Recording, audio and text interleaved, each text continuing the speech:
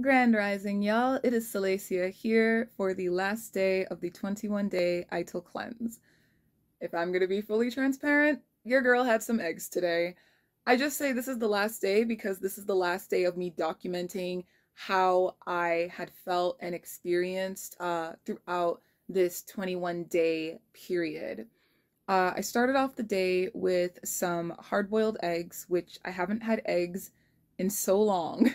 eating them was a very nice experience. Um, I had them with a whole bunch of grapes and some moringa tea. I ate that quite a few hours ago, and I'm still full of satiety. I'm not sure what I'm going to do for lunch yet. I'm not sure what I'm going to do for dinner yet. What I do know is that I am going to go grocery shopping shortly. And as I was saying yesterday, I was thinking more about ancestral ways of eating, fully listening to my body, and regaining some of the strength that I had lost. So, even though I am lactose intolerant, and to be honest, I don't think I'm actually lactose intolerant. I think it's that I cannot tolerate the way that dairy is prepared here largely. However, there are a few things that I've always been able to eat without issue, and even looking to my own family, we are also able to eat without issue. The first is butter. So I'm going to reincorporate grass fed butter. Kerrygold is a pretty decent uh, brand for it, so I'm going to look for that when I go shopping today. Um, and goat milk. But I'd rather stick to having goat milk when I'm not in the US, so I'm going to refrain from that.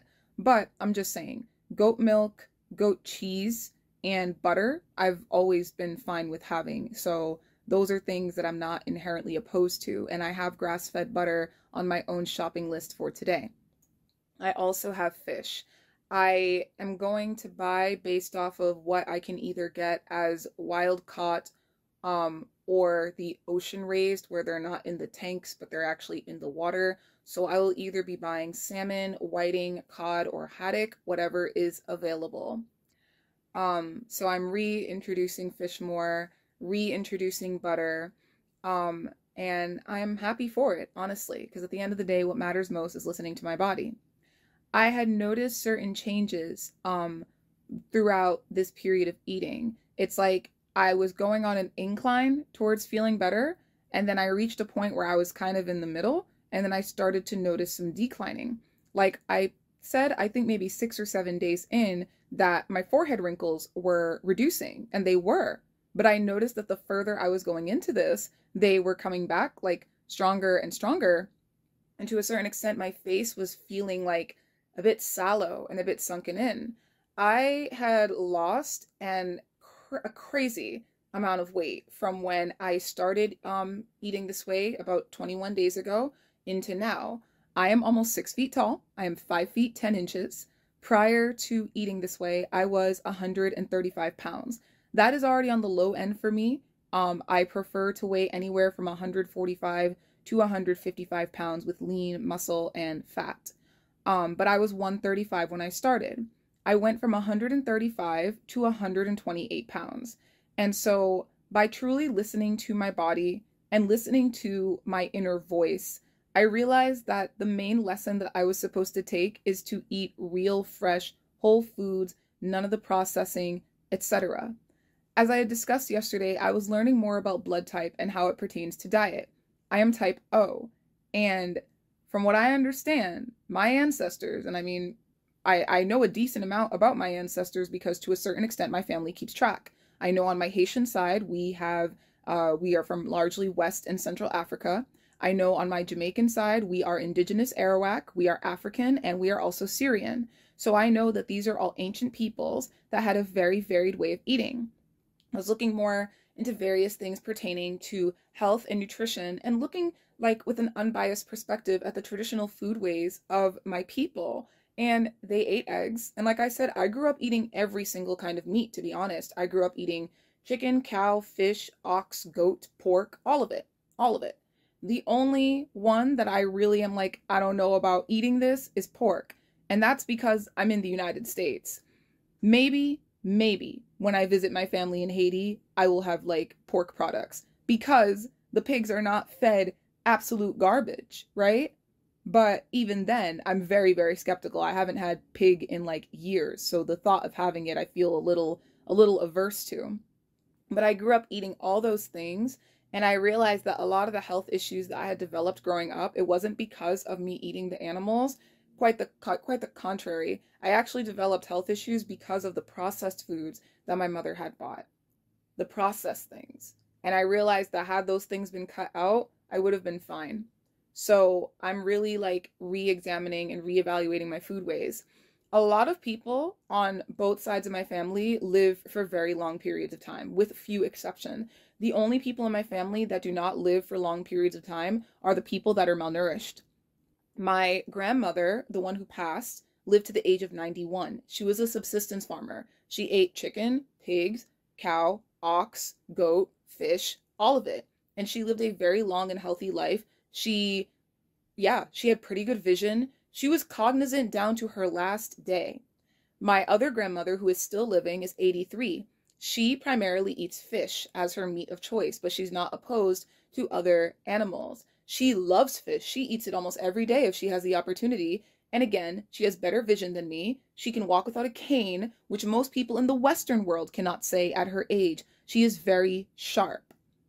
And so, if those are my grandmothers, and I'm their descendant, doesn't it make logical sense for me to eat the ways that they ate? The reason that I'm a relatively healthy and strong person is because I have their genes.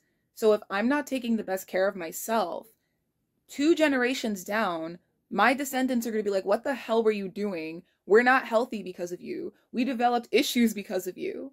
So I'm really thinking. And to be really blunt, anything that is pushed by like Bill Gates is not good. And he and his ilk are all over the promotion of eating vegan. I think that eating vegetarian is something that you have seen through many cultures for thousands of years. I completely understand why people shun eating animals, right, of their flesh. But eating of eggs or eating of milk is something that a lot of people do. Some of the strongest peoples consume a lot of dairy. I think to the, the Maasai people of Kenya, they're known for being able to jump to extreme heights and they eat a lot of beef and they they drink a lot of milk. So I think we have to be really honest with ourselves and ask what it is that we're being steered towards. So I'm grateful that I had this cleanse period. I do think that, like I said before, short periods of time eating exclusively no animal product is okay. It can actually help to flush certain things out of your system. But at a certain point, you do need to incorporate animals. Like that's that's just the truth. We're not herbivores and we know that. We're not ruminant animals. We don't have 2 to 4 stomachs. That's just not the case. We're not carnivores. Are we don't have completely smooth digestive systems. Although we have hydrochloric acid, it's not as my hydrochloric acid is not as strong as my cat's, for example. But we are omnivores. There's no society that has ever been vegan. Like that that's that's just the truth, you know? It's it's it's the truth and we have to be very mindful to what it is that we're being pushed towards. The very people that are encouraging eating vegan are the very people like higher up, I'm not talking about like the regular person, are the very people that think that there's too many humans, are the very people that encourage depopulation. And what a better way to depopulate than to decrease your fertility, to make you weaker, to make you more susceptible to suggestion, and to make it so that it's literally harder for you to have children. And I want to have as many children as my womb will support. So that's what I've learned through this. I have a pretty good shopping list for today. Everything is fresh, real foods, and I'm very, very excited for it. I'm looking forward to rebuilding my body, re- rebuilding my strength, regaining my weight, getting my muscle composition back to where I want it to be and maybe I'll make some videos documenting that as we come along. But thank you for those who have followed me in this journey. I hope that you watched from start to finish just to see where I was and where I'm at. Like, even listening to myself right now, I feel more clear and more cognizant when I'm speaking. And that is very, very important. This brain up here is largely fat. And try as I might, even when I realize, hmm, this way of eating is not giving me enough fat. And i said okay let me eat more avocados. Let me eat more walnuts. Let me eat more um, flax seeds hemp seeds and chia seeds. It still wasn't enough. I need saturated fat. I need what you get from animals. And it doesn't make you a bad person. It doesn't make you any less spiritual. Listen, I come from spiritualists, okay, and none of them were vegan. Like that's that's just the truth. So yeah, that's where I'm at. And this is my second time having tried to eat vegan. You know, I'm someone who I'm very empathetic, I'm very morally driven. I do agree that the industrial farming practices are horrific. I will always stand by that. My family did not practice industrial farming. I come from subsistence farmers on both sides of my family. Having proper animal husbandry is the way. So that's like, that's really what we should be leaning towards. But shunning animals in its entirety is shunning our genetic inheritance. And I do think that it leads us down a path of our own destruction. So yeah, I may check in later, but I honestly feel like I've said plenty. Good evening, y'all. It is Selecia here with my last check in for this 21 day ital cleanse.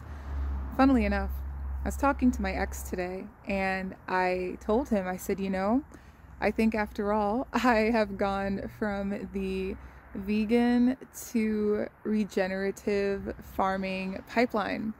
And he was laughing because he said that he saw that coming a lot for a long time. He said that he knew where my heart really was with all of it, which is knowing my background, knowing that I come from subsistence farmers on both sides of my family, and knowing how both plants and animals are honestly supposed to be treated, that I was just trying to go back, right? Go back to how I was raised, like in a different generation. Because I was born in the United States, but both my mother and my father were born in Jamaica and Haiti, respectively. And then, you know, I was taught a lot of what they were taught, though.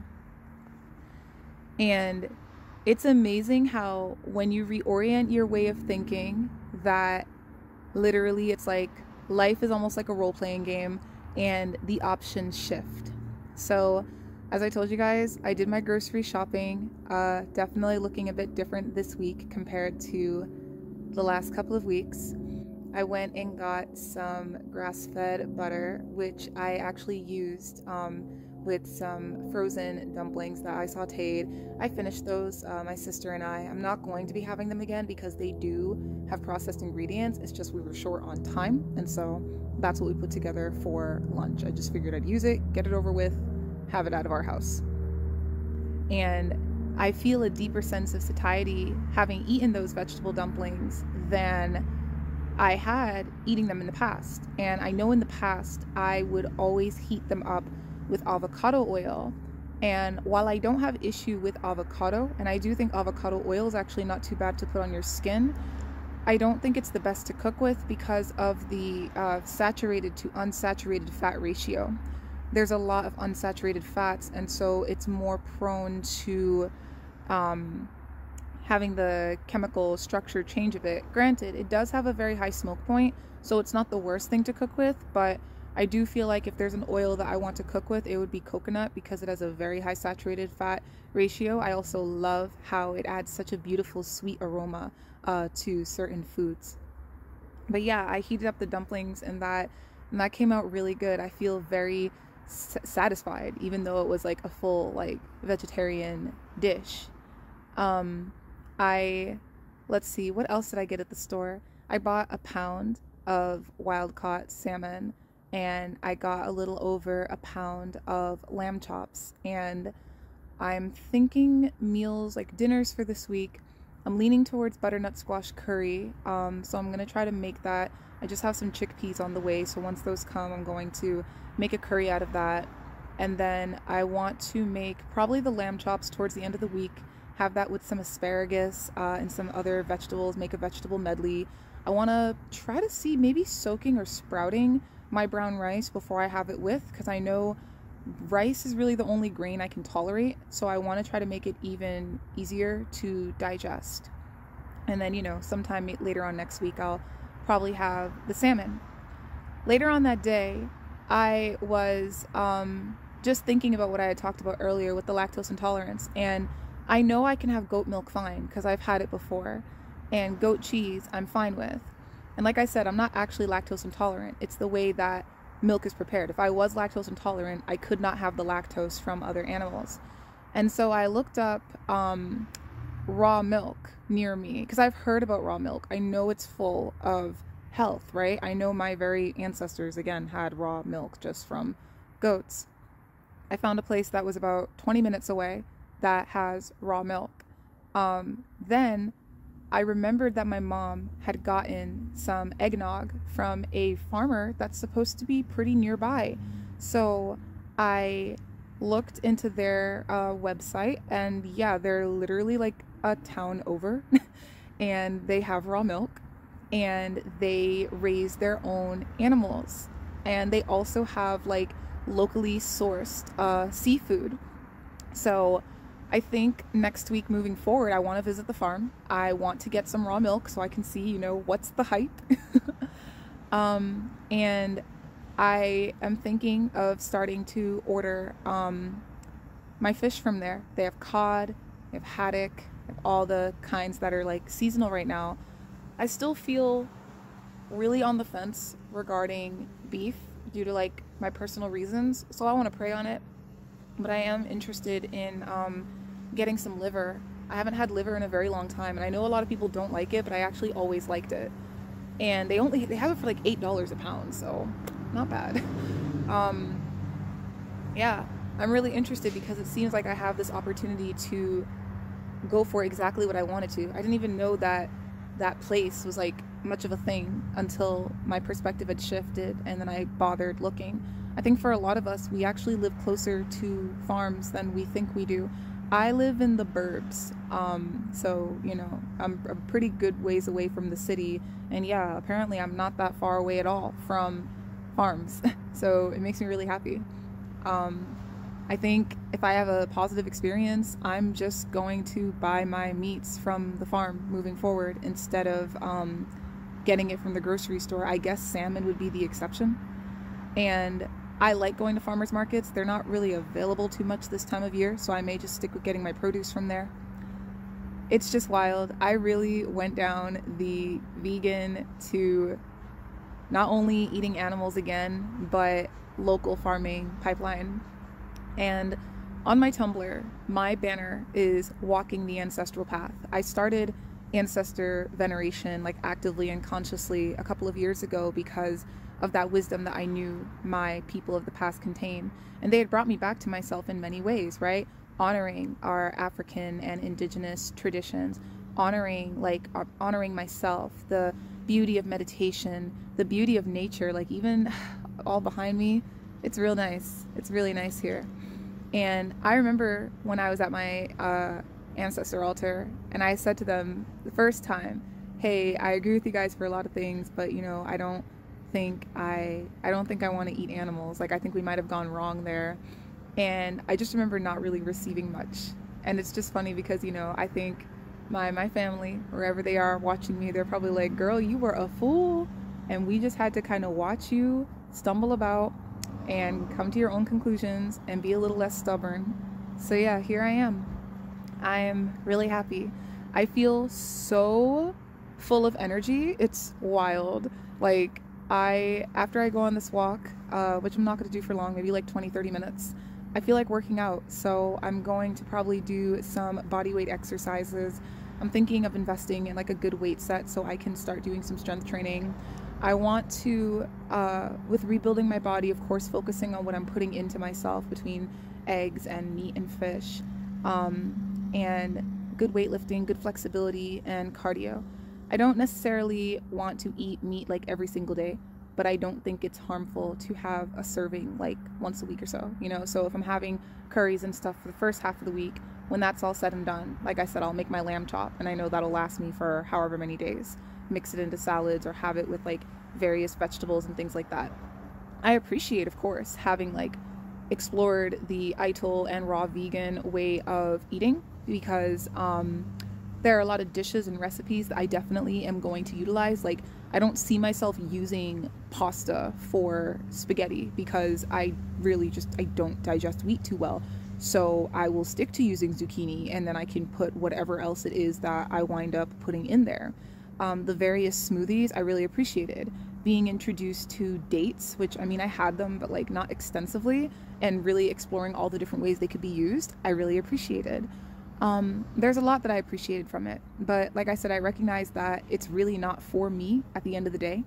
Um, and one thing that I've always felt really strongly about is that I don't want to eat in a way that requires supplementation because I strongly believe that even in spite of all of the destruction that has been wrought upon this earth, that Mother Nature absolutely gives us everything that we need through nature.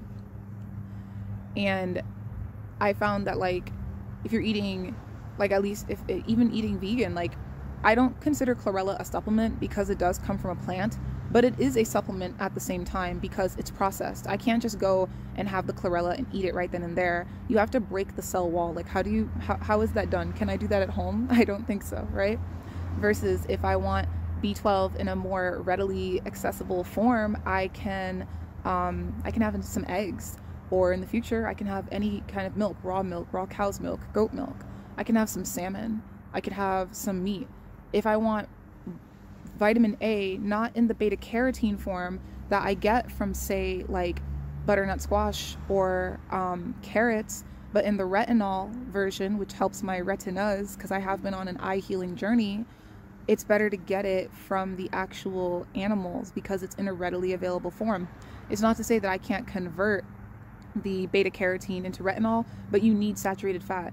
That's why they even say with carrots, carrots are not ideal to have raw. You want to have them prepared in like butter or a saturated oil, right?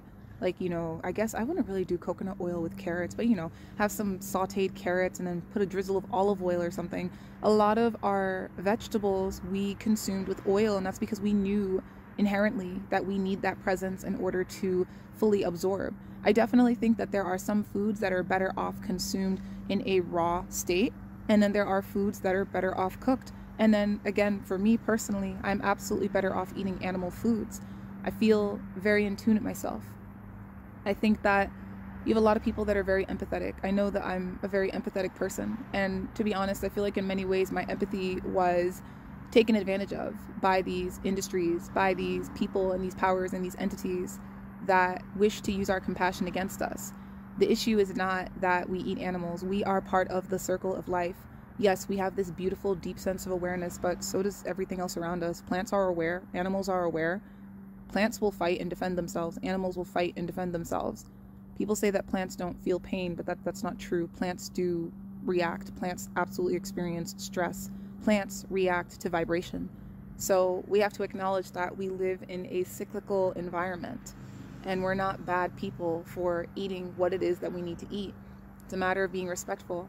And to be honest, I think as more and more of us return back to our roots, we'll actually be able to undo those very industries that we know cause a lot of harm. We'll be able to seek out our local farmers. Maybe some of us will become farmers ourselves. Maybe some of us will lean towards growing food.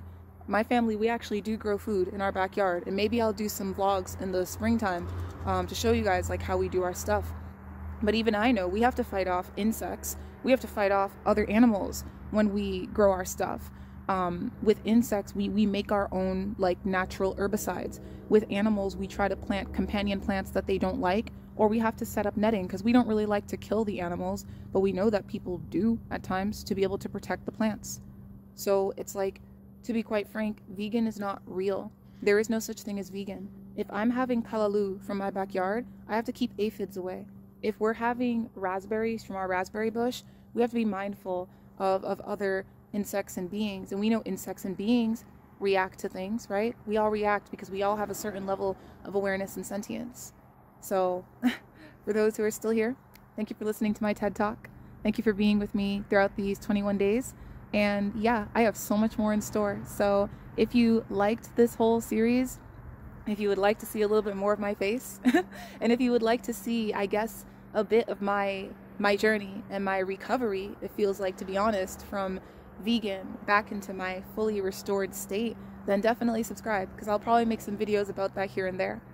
I think the next thing that I want to make though is an update on my locks. Um, I have had my locks for about two and a half months now, so I would love to talk about it and how this like semi freeform journey is going. So yeah, thank you as always. Have a great evening, stay blessed, and I'll see you when I see you.